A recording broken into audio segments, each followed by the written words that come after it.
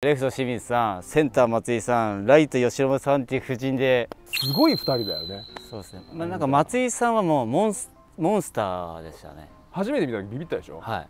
でもあの時代のジャイアンツって今振り返っても最強っていうかすごいメンバーでしたよね。みんなすごい選手が揃ってたとは思うんだけどやっぱ松井の存在が大きかったんじゃない？プレイヤーとしてもすごいんだけど人間的にも慌てないし 一喜一憂しないしないですね。